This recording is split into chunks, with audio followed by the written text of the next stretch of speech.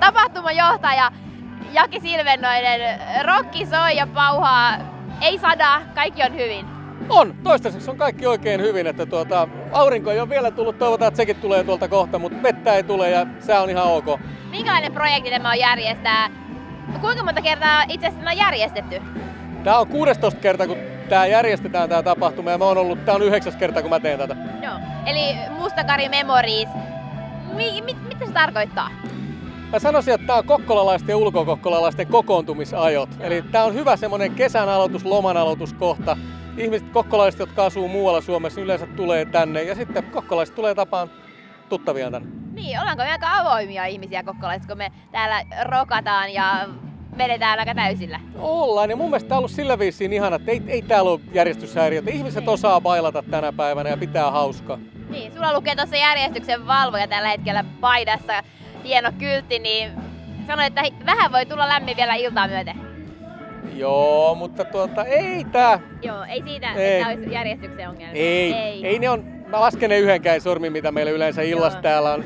Joku joskus astuu korkin päälle vähän liikaa, nauttii Joo. kansalaisluottamusta ja keskiolutta, niin, niin tuota, mutta ei sen kummallisempaa. Niin, milloin näitä aletaan järjestämään, kun näin kesäkuun lopussa vedetään nämä bileet? No käytännössä tämä pyörii koko ajan, että jos miettii sitä, että tämän vuoden tammikuussa on varattu 2016 vuoden jo esiintyjiä. Tämä on semmoinen prosessi, joka pyörii koko ajan tuolla taustalla. Ja iso porukka varmaan tätä pyörittää. No täällä paikan päällä pyörittää, että meitä on kuitenkin satakunta ihmistä pyörittämässä tätä tapahtumaa, mutta meitä on sitten kaksi jannua, jotka tehdään tähän. Joo.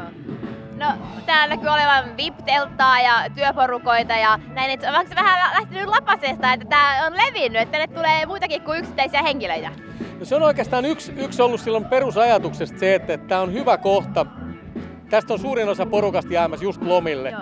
Niin on hyvä kohta niin kun järjestää tämmöiset pippalot, muistaa joko henkilökuntaa, yhteistyökumppaneita tai muita sidosryhmiä sitten ja kutsuu tähän näin ja sitten lähdetään lomille siitä.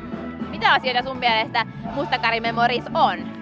Mun mielestä tämä on hyvää musiikkia, äh, uniikki paikka. Tämä on kuitenkin GSFn kotisatama, joka on 1872 perustettu, että me ollaan niin uniikilla paikalla sen suhteen. Ja, ja tota, ihania iloisia ihmisiä ja tota, Suomen kesä. Niin, rupeako tämä olemaan sulle jo vähän niin kuin rutiini, että ei enää niin paljon pelota tässä vaiheessa? Aina tämä pelottaa. Niin. niin, mikä on se, se katastrofaalinen, miten, mikä tässä voisi mennä pieleen?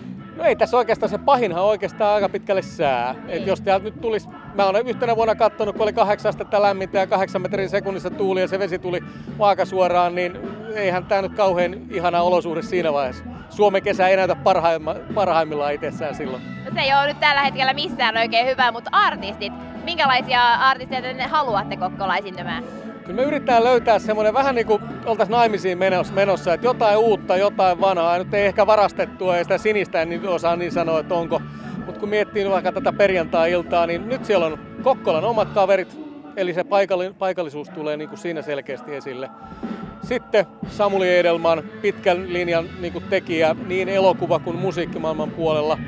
Sitten jos ottaa siihen vaikka Teleksin, vähän Ysäriä mukana, ja sitten Jonne Aaron on kuitenkin sitä enemmän tätä päivää. Niin, tänne voi tulla oikeastaan kaikki, jotka on täyttänyt 18 vuotta. Kyllä, tämä on K18-tapahtuma ja koko alue on anniskelualue. Kuinka paljon sä ehdit tapahtumaan johtajana tästä nauttia? Mähän nautin joka hetkestä täällä. Tämä on, mun, tää on mulle yksi, yksi kesän, kesän kohokohdista. Tämä on kuitenkin ero tuosta normaali hotellijohtajaduunista sillä viisiin, että kun tämä on osa meidän liiketoimintaa, niin, niin, niin tota, tämä on eilästä. Ulkona saa olla töissä tekemässä oikeita töitä. Satoi tai? Paistoi, kyllä.